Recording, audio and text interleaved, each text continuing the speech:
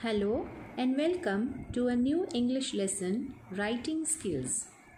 Coming to the lesson, I ask you a question What is a picture composition? Describing a picture with meaningful sentences is a picture composition.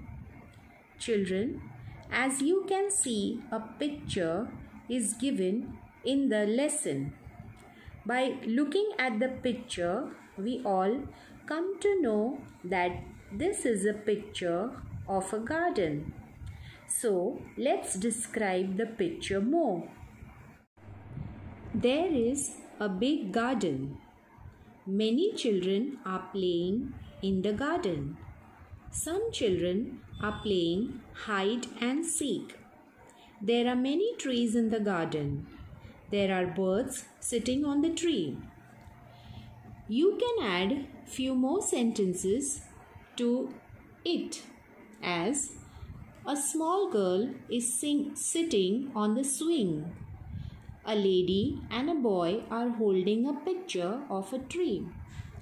In this way, you can write many sentences by looking at the picture. Here, you have another picture where you can see a farmer in his farm. the farmer's name is Bhaurao.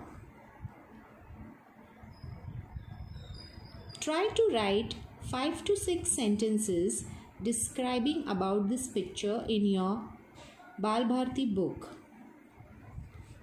So children, in today's lesson, we have learned how to write a picture composition.